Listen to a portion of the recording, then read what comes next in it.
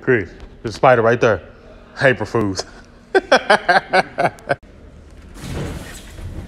Watch that spider. You got some on your shoulder. April Fools.